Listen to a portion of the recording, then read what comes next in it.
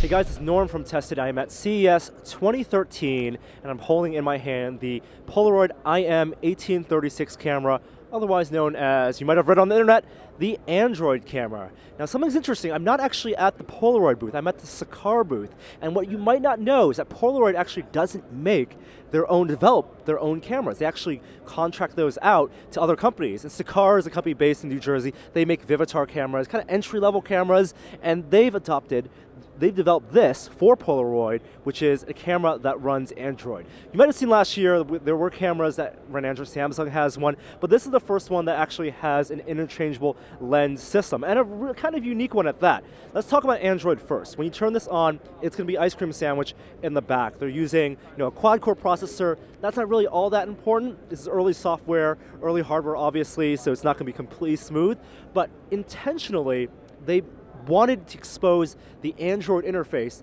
to users because this camera is really targeted for kind of the casual photographer, not someone who might have a Canon 5D Mark II or even like a Sony NEX system. Someone who's used to shooting point and shoots and maybe has a smartphone, knows the Android interface, Android ecosystem, knows Instagram, knows Twitter, but wants to use that in a better camera system. So that's kind of like what Samsung also did, but Samsung had a dedicated camera button. This one also will have a dedicated camera button right here, so you're to always be able to jump to that camera mode.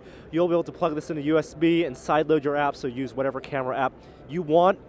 On this, it's a touchscreen, obviously, um, and you know it's, it's, a, it's a fairly compact camera, not the smallest we've seen. What is also very interesting is this interchangeable lens system.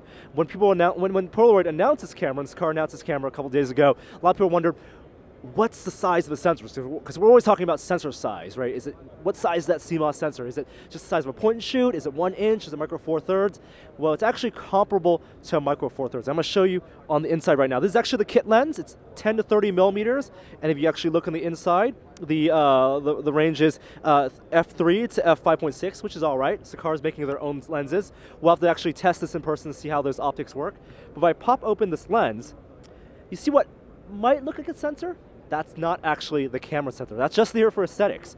All that matters are those gold pins for the viewfinder. The sensor is actually in the lens here. That's what they decided to do.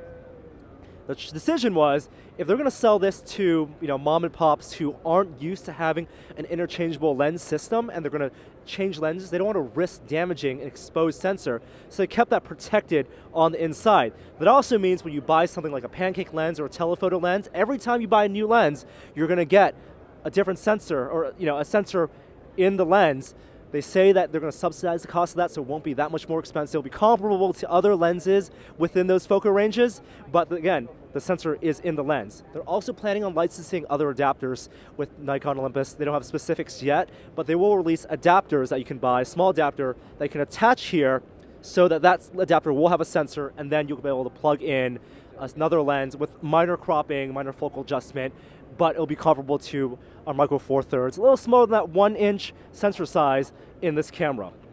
The idea is that this is to get those mom and pops who are used to those point and shoots, used to a newer system so that a couple years down the line they can upgrade to something a little beefier. The price range for this is $350, which is for interchangeable lens system, it's, it's on the cheap side. That's pretty affordable. And the fact that you can sideload any Android app, you can do your you know, free time lapse, you don't have to pay for those apps separately, that's pretty compelling. Uh, this is going to be released in the summer uh, from Polaroid and Sakar, and something I'm, I'm, interested in. So we'll have more from CES 2013. You'll find more at tested.com.